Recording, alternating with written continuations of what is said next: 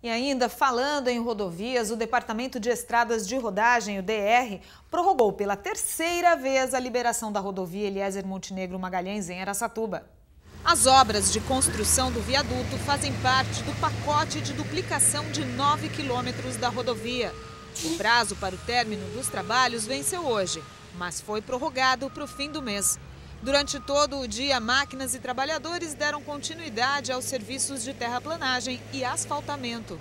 As obras que deveriam durar apenas três meses já se arrastam há cinco meses.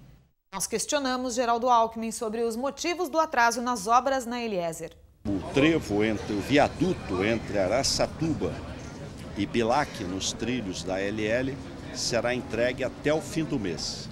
Então, questão de duas a três semanas ele será entregue.